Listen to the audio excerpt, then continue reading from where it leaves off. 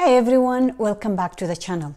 Today we are checking out Z.AI, a fully free AI platform that is packed with cool tools. But the one we are focusing on is its AI slide maker. I have tested hundreds of slide generators and honestly, this one stands out.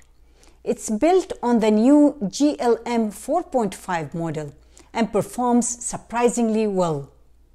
Let me walk you through how it works with a real example. First, just search for Z.AI and click on the site. It will take you straight to their chat platform. You can do all sorts of things, designs, coding, research, but in this video we're sticking to the slide creation. For this demo, I use the topic Why We Age.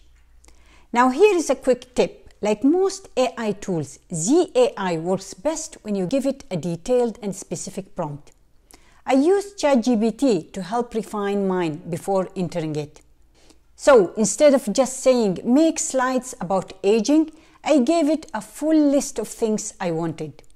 Storytelling style, positive friendly tone, light humor and uplifting facts, color scheme red, white and gold, different slide layouts and images on most slides.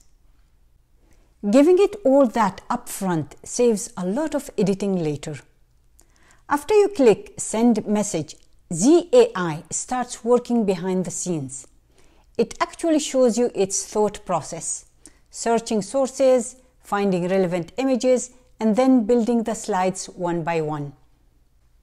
The result was 15 slides and it took about 15 minutes to generate. And here is the output.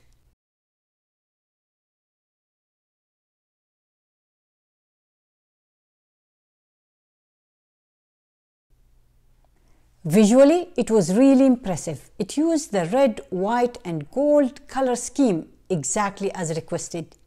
It included fun and uplifting facts it varied the slide layouts and used a positive, clear tone throughout. One thing it didn't quite nail was the storytelling style. It leaned more toward informative slides than a narrative flow, but the overall structure was smooth and logical. Now, the good thing is you can edit anything in these slides. Just click on the slide and it gives you the option to edit in the chat box.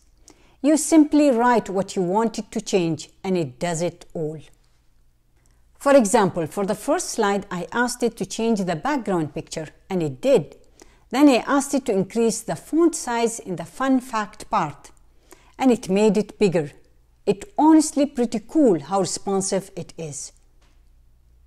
When you're happy with the slides, you can share the slides or export them as PDF. One downside, there is no option yet to download them as PowerPoint or Google Slides. Hopefully that's coming soon. But even without that, you can play the slides directly on the website, which works just fine for most users. For a fully free tool, Z.AI is absolutely worth trying, especially for quick, good-looking slides with AI support. It's one of the most solid options I've used so far. I hope you found this video helpful. Thanks for watching and I'll see you in the next video.